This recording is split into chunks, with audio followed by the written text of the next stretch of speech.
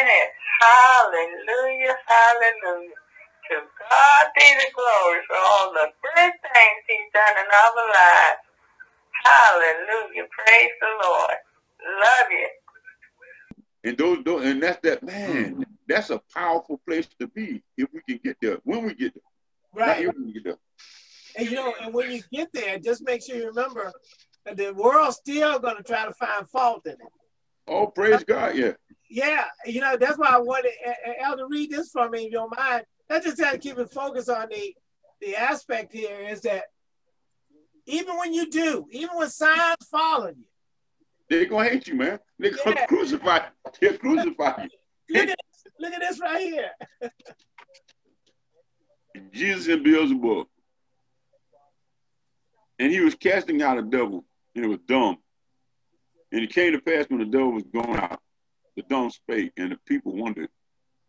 But some of them said, He cast out devils through Beelzebub, the chief of the devils. Uh-huh. And others tempting him sought of him a sign from heaven. But he, knowing their thoughts, said unto them, Every kingdom divided against itself is brought to desolation, and a house divided against the house faileth or falleth. If Satan also be divided against himself, how shall his kingdom stand? Because you say that I cast out devils through Beelzebub. And if I by Beelzebub cast out devils, by whom do your sons cast them out? Therefore shall they be your judges. Yeah. Yeah. Yeah. I, I think that's let me see if I got any more to it. I think no, there it is. Go ahead. But if I, with the finger of God, cast out devils, no doubt the kingdom of God has come upon you. Yes. When a strong man armed keepeth his house, his palace, his goods are in place in Uh-huh. peace. But when a stronger than he shall come upon him and overcome him, he taketh him, he taketh from him all his armor, where he trusted and divided his spoil. He that is not with me is against me, and he that gathereth not with me scattereth. Yeah. And that's what I'm saying. that On a piece of that is fact is I wanted to show was the fact is that we as the body of Christ need to understand that we're, we we have to be one in unison. You know, right now the world is sometimes saying we bring it back to this world situation. They see us divided. Mm-hmm. when we should be our, our whole purpose, regardless of what's going on, is to be in unity of faith. That word that we said, his words, right? He said, I've given him thy word. My word. Yeah. And and and they'll become one because of his word. And even everything he's saying is that he only confirmed his word. Amen. Right? You- you- Pastor Taylor, there's a a thought that enters my head that says, aside from our focus on Christ, we'll always be divided. Yeah. And because my perspective is not going to be the same as anybody else's. So I got to have a connect with Christ that's common to every other man. I got to connect with Christ. And in him, we find uh, unity. Yeah. We seven men sit here at these respective tables in these different places have come together to discuss the will of one man. And his name is Jesus. And we all sit here collectively communing one with another in peace because we're all seeking his will. Right. Not mm-hmm. my will, not Jackson's will, not Billy's will, Jimmy will, Chris. None of us are seeking our will. We're seeking his will. And that's what's bringing us together. Exactly. Mm-hmm. So I think across the racial, when we encourage our white brothers and our Hispanic brothers and our Asian brothers and our black brothers and our yellow brothers and our red brothers, when we encourage each other to fi- to seek His will, when we start looking at one guy that's calling cadence, then we're gonna all march in the same steps. Yeah. Yeah. We, I pray to God And we don't don't- come together in unity without Christ, man. If we come together in unity without, if me and Jimmy come together and agree on something, we're gonna be able to pull it off. That's a biblical principle. Mm-hmm. We can be wrong as hell, but we still gonna be able to pull it off. Yeah. And, and- and so if And we the scriptures unite- teach that. Amen. Yeah. So so if we unite in Christ and only in Christ, that's when the righteousness of God gonna be manifested through our lives. Exactly. And that's how the world looks at us is by his word. He confirmed Amen. his word. Amen. And for, for Brother Jackson, I think you got to go today, Brother Jackson. No, no. Um, just a little side note. My uh, associate pastor passed away last Monday.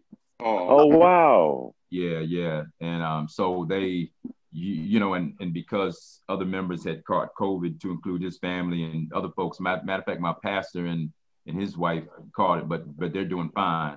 Um, you know, so they just kind of chilling, sanitizing the place, and and uh, they're doing an online uh, Facebook live thing. As a matter of fact, it's probably happening now, but I'll I'll catch it later.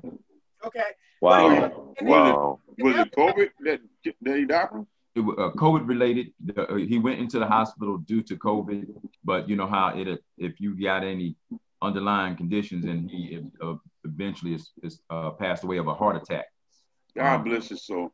Yeah, yeah, but he was uh, you know, the thing is, uh, just so you know, um, and and and that's where he's at, brother. You know, absent from the body is present in the Lord. He was uh, texting, you know, uh, kind of giving the pastor uh, updates and and um and he said hey the lord visited him you know and uh so he was at peace man he was all good he was all good and he went fast so And, that, and that's what I'm saying. I think even when we approach the, this, this current situation, even politics or this, pandemic, you know, we, we definitely got to learn to be one in unison of dealing with things, you know, mhm. uh, in, in Christ. And and with that in mind, since you're here, I wanted to, I, we did th- everything we just talked about was what Brother Addison and, and Elder Johnson and I covered the last Sunday and, and Thursday. To bring me to this point okay is uh, watching out for division in the church, right? Because he said the house divided cannot stand. Mhm. And I also said that the world is watching us now. Uh, and so right here, uh, Brother Jackson, I, I like to bring you into this one. You anointed here to read this. This just because I, I prefer you read it. okay but but read that for us though. I'm, I'm a, I'll, change the slide as you get to it. It's like three slides. Okay. At First Corinthians, starting in chapter 1, verse 4. I thank my God always on your behalf for the grace of God which is given you by Jesus Christ, that in everything ye are enriched by him, in all utterance and in all knowledge, even as the testimony of Christ was confirmed in you, Yes. so that ye come behind in no gift, waiting for the coming of our Lord Jesus Christ Uh-huh.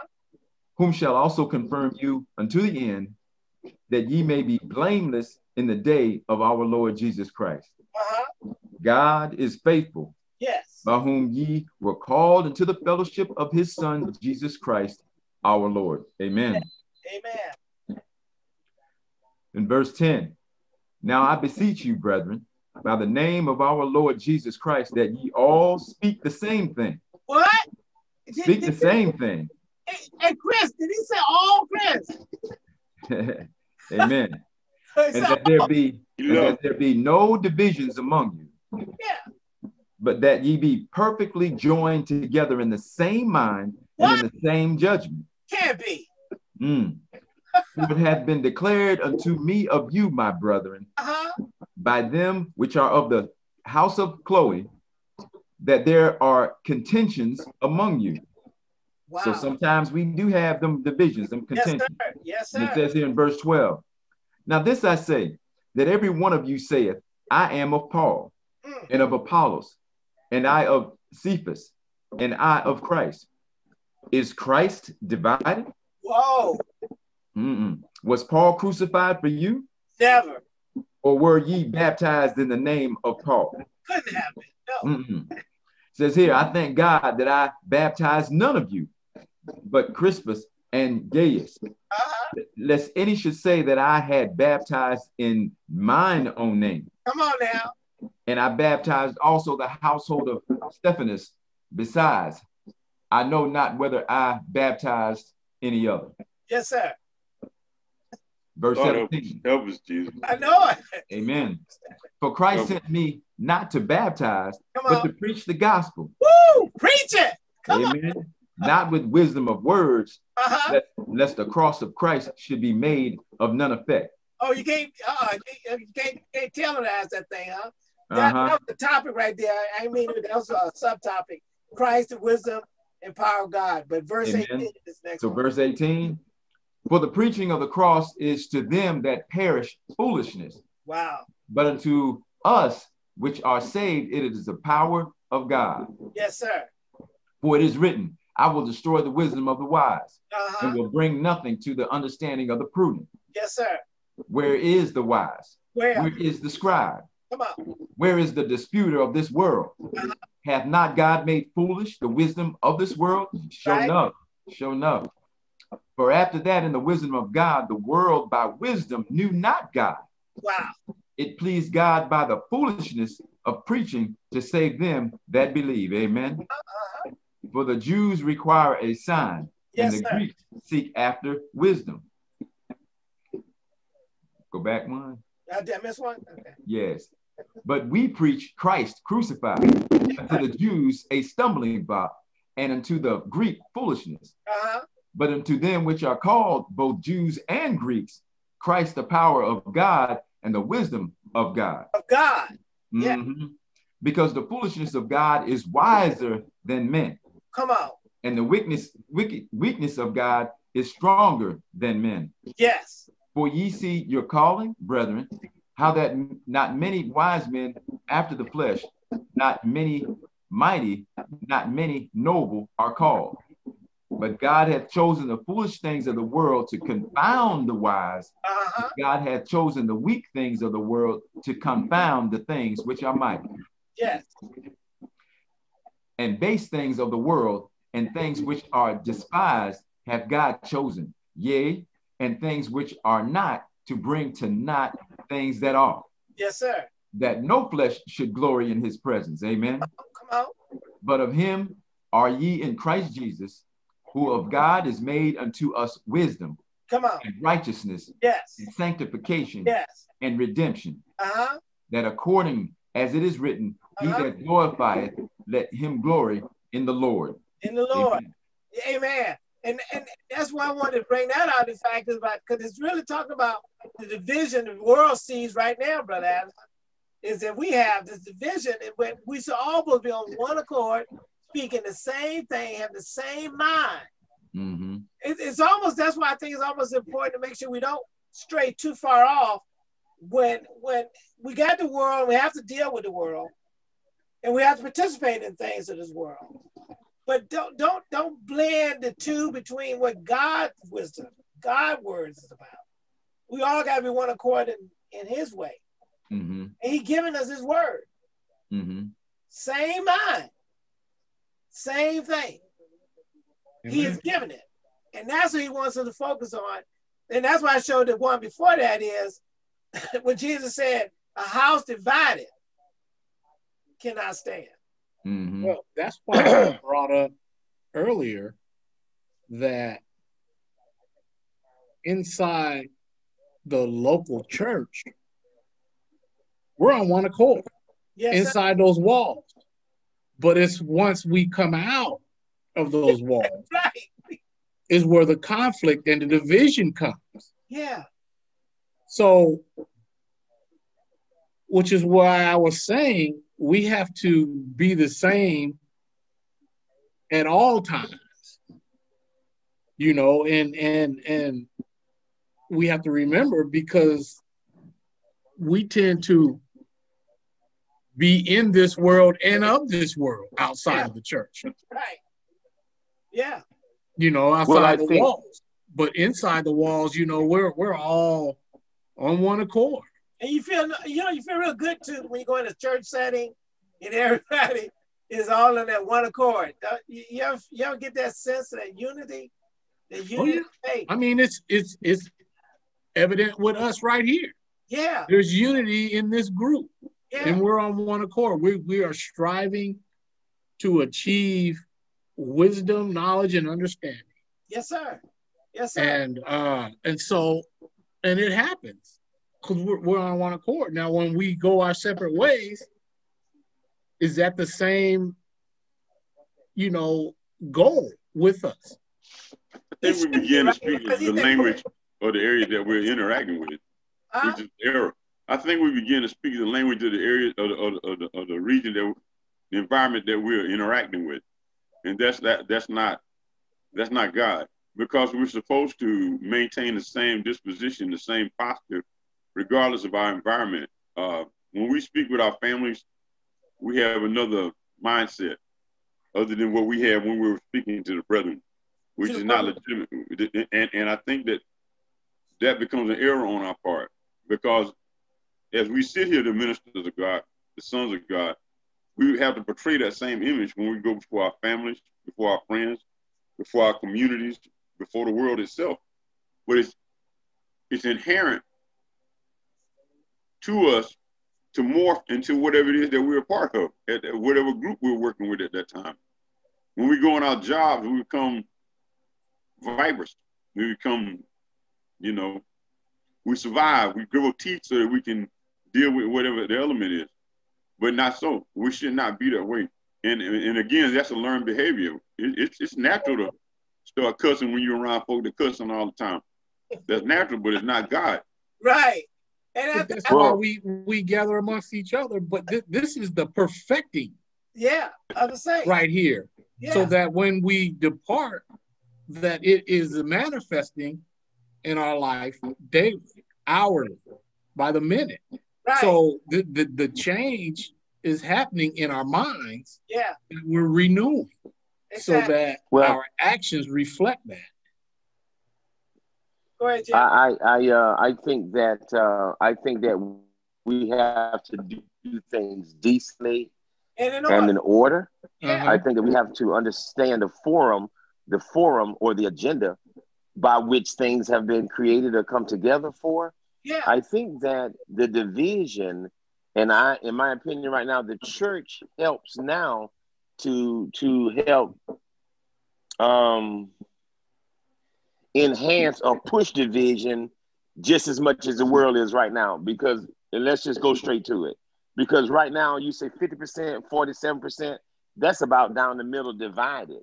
Yeah. Period. So we're at a great place of division, period.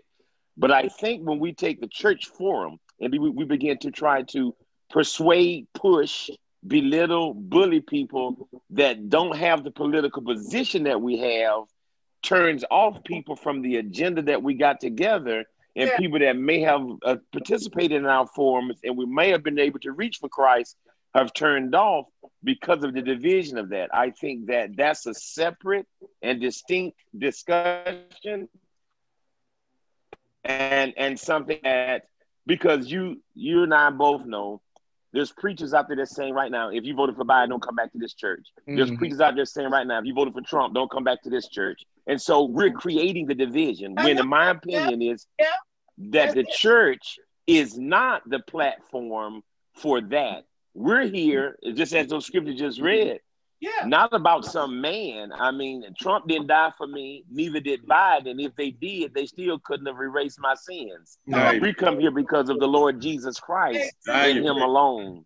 Right and on, alone. Right period. on. And so, in this particular forum, in forums like this, I think we need to understand what we came together for. Yeah. And we need to stick to that because that's the one true God, and that's the only thing we came together for. And Mhm. everybody else have their own opinions about other things, and there are other forums set up to discuss those type of things.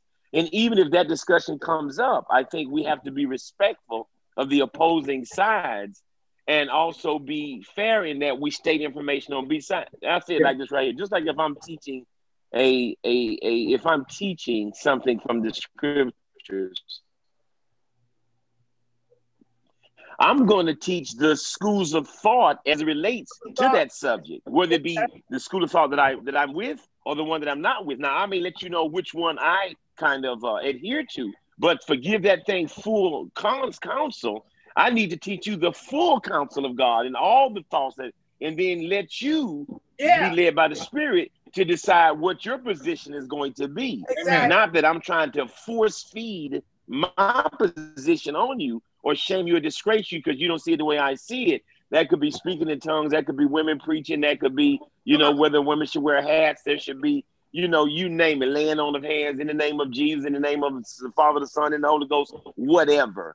Right. I just think that we need to teach the full Bible and let the Spirit of God lead that person. But I just think that we need to be mindful and respectful of the forum that we're in and then follow the agenda with which we subjected ourselves. Because at this particular point in society, Yeah. I do think that the churches are are definitely um, guilty in helping Yeah. the division that the world is in right now. Jim, I call it, you know, this this could be wrong word, but I think it's I think it's appropriate saying some of us have weaponized the gospel. They- Yeah, they have I would agree with that. gospel Uh, to, to, to discredit people, to, to demonize people, to, to look, condemn people. I had one guy sit there and heard on the video talking about that, that, that if you're a Democrat, you're going to hell. You know, and then like you said, you hear somebody else and they say, How can you be a, a Christian and you vote for a Democrat? Or how can you be a Christian and you vote for, you know, a Republican? We the world is looking at us, and we should never, ever weaponize the body of Christ for that Well, purpose. I don't think that we're weaponizing the gospel. when they I think that the the the, the Bible is being weaponized. You cannot weaponize the gospel. The gospel is what it is. So politics for us. Explain it, explain, explain that because you said you can weaponize the Bible, but you can't weaponize the gospel. Explain that for well, the the the, the gospel is God's love for mankind. Read. So you cannot weaponize that because how can you use that to weaponize when the Bible says that God sent Jesus to save the world? yes, sir. Right, right. So, you know, not parts of the world, not certain people in the world, not certain uh uh uh parts of government. Right. So to to to weaponize the gospel, I mean that that just seems Well, they but don't- I do I do understand what you're saying, Yeah, right. They not but it's just it, it's it can't be the gospel. exactly. That's what I'm saying. that, that, that's the whole point we're saying is because the gospel is not weaponized. well, Yeah. there- there- Well- there- can I can I say Go ahead, go ahead, Uh, there, there, there is a um, there is a point to where it is weaponized because it says the weapons of our warfare are not carnal, but mighty through God through the pulling down of strongholds. So we literally have a weapon, but that weapon is not against man; it's against the Right. devil. It says that Jesus Christ came to undo the works of the devil. So for every separation, for every bondage, and I think Brother Addison says this often, uh, those who were under the bondage of, to deliver them from the bondage of Satan, where that bondage manifests itself in sickness or whatever that bondage was. We, we are literally doing, we have an adversary. He was called the adversary.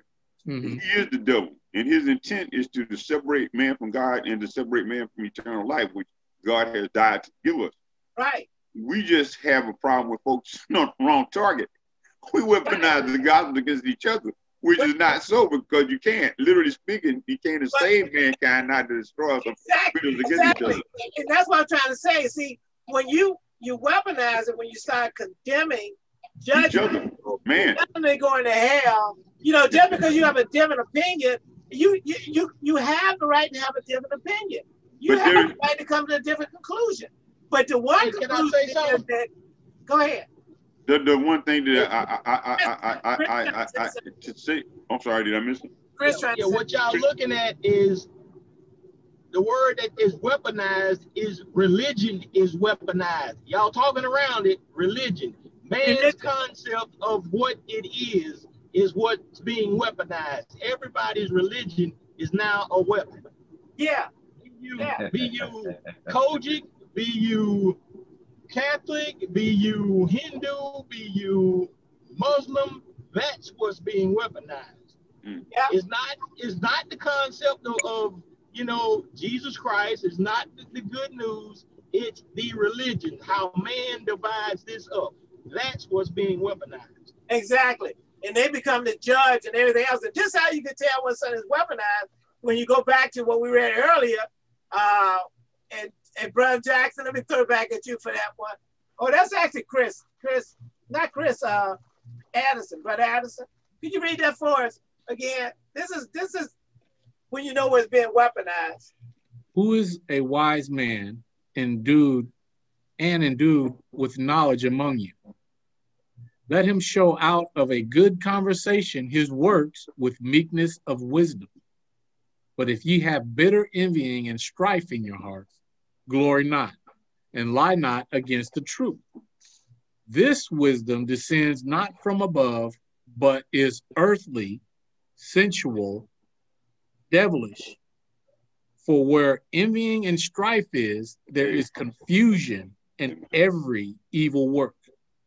But the wisdom that is from above is first pure, then peaceable, gentle, and easy to be entreated, full of mercy and good fruit, with an S, without partiality and without hypocrisy. And the fruit of righteousness is sown in peace of them that make peace. Amen. So when it gets to say you going to hell, you going to hell, you be like, what what the what, what gospel is that? the gospel said, John 3 16, God so loved the world that he gave his only begotten son. That whosoever believes in him shall not perish, but have everlasting life. I like I like Paul said, said, I don't preach nothing except that Christ was crucified.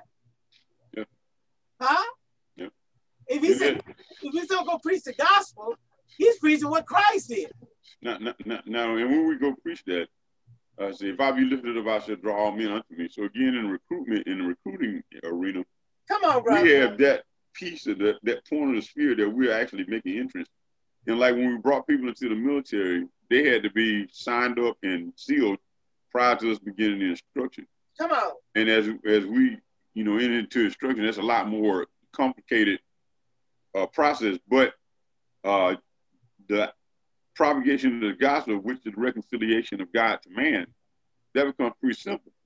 That's a simple thing that we got to do. And once the heart is prepared to embrace that, yeah. then the Holy Ghost begins to work in that person to bring them to, to fruition. And that fruition will deal with their sexuality, their their their their their uh, their, their their lust, their greed, their whatever. But that's a, that's that's the subsequent portion of them actually entering into the kingdom. Yeah. And I think that, that, as you've been preaching over these last many days, and I'm beginning to embrace, uh, there's an approach to bringing people into this into this thing, yeah. and bringing them into the kingdom. And then there's another uh, approach to nurturing them in His Word, yeah. and, and, and, and, and bringing them to fruition in Christ. And I think, depending on what our calls are, you know, whether it's pastor, preacher, teacher, uh, evangelist, or whatever, we have to be conscious of how it is that God is leading us in that particular moment to the greatest amount of effectiveness. Exactly. Yeah. yeah I, think that's the whole purpose of that. Is it that, and, you know, that's why I think back to the fruit, you know, the characteristics of the fruit of the spirit is all focused on that love, love, joy, peace, long suffering, patience, meekness, gentleness. And the church needs to be quick. Go ahead, go ahead, Bishop. You see, you, you really got to think about this thing, man. You really got to think about what God is really saying to you in Scripture. see, you got to think about it. Okay, so so I go back to this verse, and, I, and now I'm going to talk to you about this verse from a kingdom perspective.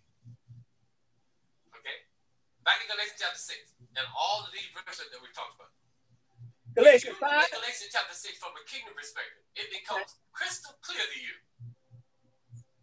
Okay, for example in the kingdom of God is citizens. The citizens of that kingdom. Yes. The mission of that kingdom. The work, the service, the labor of that kingdom. The energy, the fuel that fuels the work. All of this has to be divine. Amen, man. Amen. Okay.